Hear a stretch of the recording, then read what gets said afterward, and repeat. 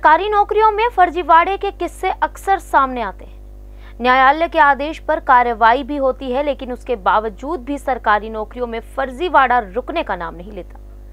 ताज़ा मामला पानीपत के खाद्य एवं आपूर्ति विभाग से जुड़ा हुआ है, जिसमें आरटीआई एक्टिविस्ट ने जिला मुख्यालय में लेखा विभाग में दसवीं के फर्जी प्रमाण पत्र के आधार पर नौकरी पाने वाले शख्स का नाम उजागर किया है।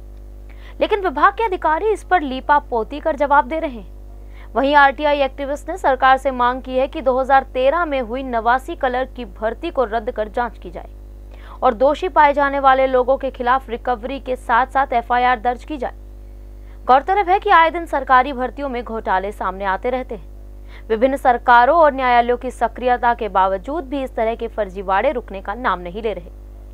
सरकारी नौकरी की चाह रखने वाले और दलाल मिलकर फिर से नए तरीके ढूंढकर सक्षम लोगों को मिलने वाली सरकारी नौकरियों पर हाथ साफ़ कर जाते हैं। ताज़ा मामला पानीपत के एक आरटीआई एक्टिविस्ट ने उजागर किया है।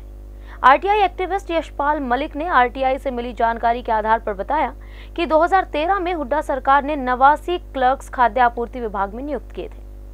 पानीपत खाद्य एवं आपूर्ति विभाग में नियुक्त राजवीर नामक व्यक्ति ने दसवीं के फर्जी प्रमाण पत्र के आधार पर यह नौकरी हासिल की है। शिक्षा विभाग द्वारा दी गई सूचना ने इस बात पर मोहर लगाई है कि इस तरह का कोई प्रमाण पत्र ऐसे प्रारूप में नहीं जारी किया गया है और राज्य खाद्य एवं आपूर्ति विभाग को भी इस संबंध में सूचित किया गया है। वहीं फर्जी प्रमाण पत्र से नौकरी हासिल करने वाले राजवीर इस समय खाद्य एवं आपूर्ति विभाग के जिला कार्यालय में अकाउंट का काम देख रहे हैं। वहीं आरटीआई एक्टिविस्ट ने मांग की है कि इस तरह फर्जी तरीके से नौकरी पाने वाले के हाथ में सरकारी खाते का लेन देन कैसे दिया जा सकता है? उन द्वारा ये भी मांग की गई है कि विभाग उसे टर्मिनेट कर अब तक दिए गए वेतन की रिकवरी करे और साथ में नौकरी पाने वाले फर्जीवाड़े की एफआईआर दर्ज करे। उन्होंने मुख्यमंत्री से ये भी मांग की कि 2013 में हुई इस भर्ती को रद्द कर इसकी उच्च स्तरीय जाँच कराकर भर्ती में हुई धांधली में शामिल लोगों और इस फर्जीवाड़े में शामिल उनके सहयोगियों पर धोखाधड़ी का मामला दर्ज करते हुए कार्रवाई करें। उसमें पता लगा है कि वो फर्जी डिग्री मतलब इस संबंध में इस संबंध में तो कोई जानकारी अभी नहीं नहीं, उसमें विभाग ने भी कोई कार्रवाई के लिए लिखा है उसमें। इस संबंध में मुझे अभी कोई जानकारी नहीं। अकाउंट डिपार्टमेंट में है ऐसे राजवीर नाम का कोई? राजवीर? हाँ जी हैं। ये तो सारी मतलब यहाँ पे इंस्पेक्टर भी हैं सब इंस्पेक्टर भी हैं। राजवीर अकाउंट ब्रांच में कार्यरत आरटीआई एक्टिविस्ट ने है ये- ये फर्जी जो दसवीं की सर्टिफिकेट है उसके आधार पर इसको नौकरी मिली और ये तो देखो राज्य सरकार का है इसमें और मेरे पास तो ऐसा कोई इन्फॉर्मेशन अभी तक नहीं। डिपार्टमेंट इसको लेके क्या कार्रवाई कर रहा है? नहीं मेरे पास कोई इन्फॉर्मेशन नहीं है मेरे पास नहीं। अगर ऐसी कोई जानकारी अगर आती है सर आपको संज्ञान में मामला तो हाँ। क्या कार्रवाई आप विभाग की तरफ़ से की जाए? देखो जब आएगी तब उस पर देखा जाएगा जो नियम बने हुए हैं उसके अनुसार कार्रवाई करेंगे नियमानुसार कार्रवाई करेंगे। है हमने एक आरटीआई में सूचना मांगी थी नवासी कलरक 2013 में हुड्डा सरकार द्वारा भर्ती किए गए थे जिसमें फ़ूड सप्लाई के नवासी आदमी आए थे जिनमें से एक राजवीर सिंह की हमने आरटीआई में शक होने पर सूचना मांगी थी। सूचना मांगने पर उसकी खाद्य एवं पूर्ति विभाग द्वारा हमारे को सूचना दी गई। सूचना में उसकी जो दसवीं की मार्कशीट है, वो फर फर्जी पाई गई क्योंकि उसका जन्म हुआ बहत्तर में और एडमिशन हुआ अठहत्तर में सतासी में पास आउट हो गया रिज़ल्ट आया उसका 2001 में। क्योंकि दसवीं की जब हमने इसकी शिक्षा बोर्ड से जाँच कराई, उसने डुप्लीकेट सन 2001 में जारी करा रखी थी।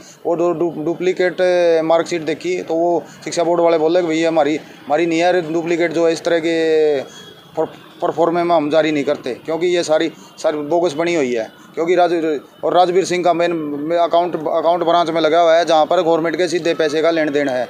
इसको जो, जब एक आदमी को दसवीं दसवीं की भी, दसवीं का भी पूरा ज्ञान नहीं तो वो गवर्नमेंट के पैसे को कैसे संभाल कर रखेगा? क्योंकि इस प्रकार इस प्रकार के घोटाले खोलने के लिए हमने ये मुहिम चलाई हुई है, ताकि जो, जिन, जो एक्चुअल में इस इस अधिकार, इस पद के हकदार हैं उनको ये पद मिलना चाहिए ना कि इस तरह के फर्जीवाड़े को फर्जी तरीके से भर्ती हुए लोगों को। क्योंकि हमारी सरकार से यही मांग कर है कि भाई इन इस सारी भर्ती को रद्द किया जाए और इसमें सारे जो जो लोग इलीगल पाए जाएँ या जो जो इस साजिश में शामिल पाए भर्ती करने में शामिल उनके खिलाफ भी कार्रवाई की जाए।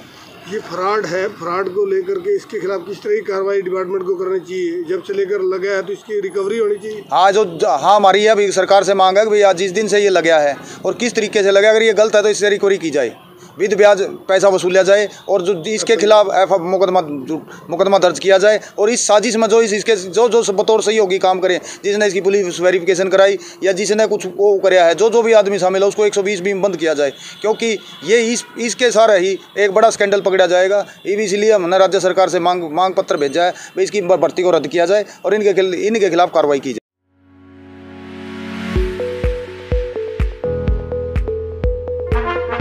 ब्रेकिंग न्यूज़, रास बसेरा आपके लिए लेकर आए हैं खास मौका। वो भी हरियाणा सरकार की अफोर्डेबल हाउसिंग योजना के साथ, जिसके तहत आपको मिलेगी छह लाख रुपए तक की सुविधाओं के रूप में सब्सिडी जैसे कि free parking EDC IDC free club charges free और मेंटेनेंस फ्री और कोई हिडन चार्जेस भी नहीं। तो आज ही बिना देर किए अपने सपनों का घर बुक